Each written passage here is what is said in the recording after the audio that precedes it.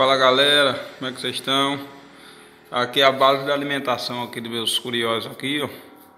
Eu uso a Nutrópica, uso a farinhada da Cedé, a Mórbido.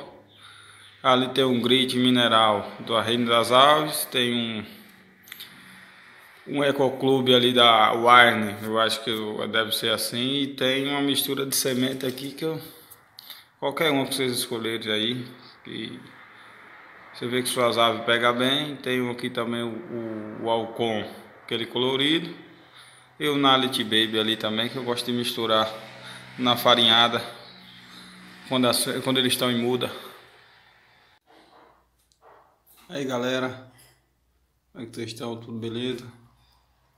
Todo mundo aí pra muda aí. Já. Guardando aí agora, só eles mudarem essa temporada que vem aí a gente reproduzir com força. Forte abraço a cada um de vocês aí. E é nóis. Essa prateleira tá batendo certo, eu gostei.